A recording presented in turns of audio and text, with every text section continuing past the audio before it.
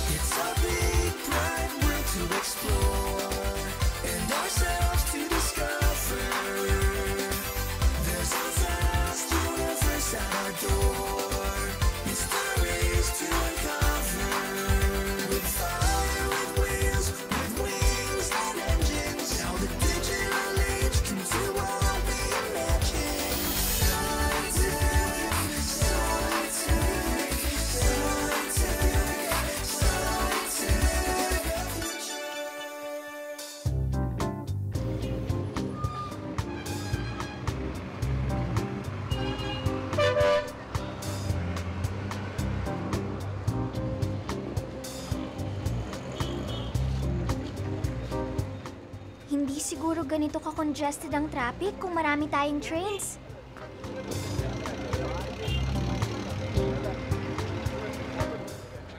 Remember when we went to Japan?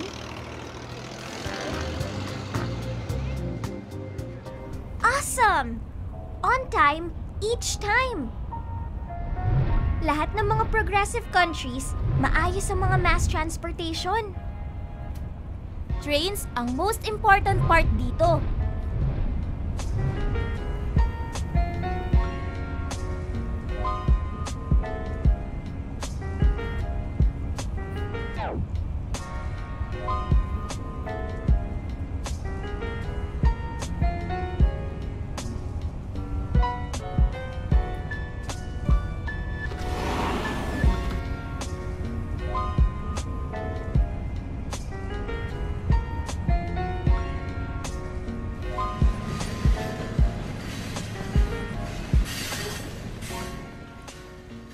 Na yan wishful thinking. Gumagawa na ng measures ang government to improve our trains and railway systems. DOST has joined the quest to find solutions.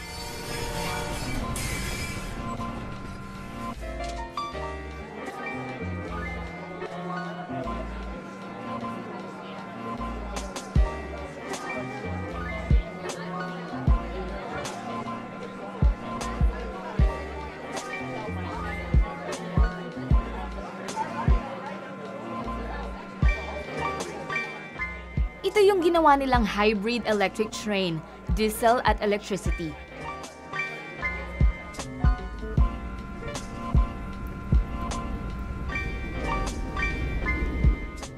Gumagamit ito ng generator set at batteries. Tuwing nagpepreno, naiimbak ang sobrang enerhiya sa batteries para magamit pa sa susunod na pagtakbo ng tren. Kaya napababa ang diesel consumption. Maganda ito para sa kalikasan. At maipagmamalaki natin na gawang Pinoy. Ito ay na-testing na sa riles ng PNR sa Tutuban, Mamatid at Kalamba-Alabang routes. Marami ng tests ang pinagdaanan nito, katulad ng RAMS o ang reliability, availability, maintainability at safety test.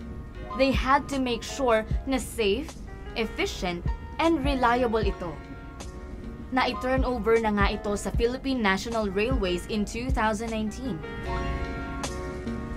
Ang estimate nga ng DOST, kaya nitong masilbihan ang 17,600 na pasahero kada oras kapag fully implemented na. Aba, that's nice!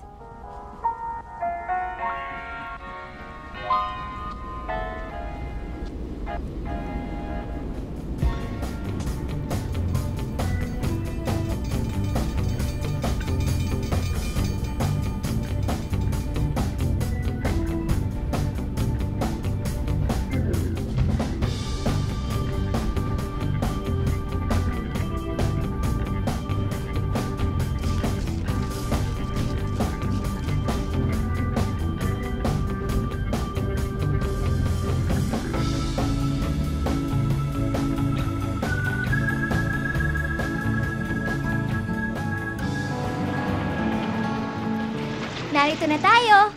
Pero paano tayo pupunta sa site? Makitid ang daan.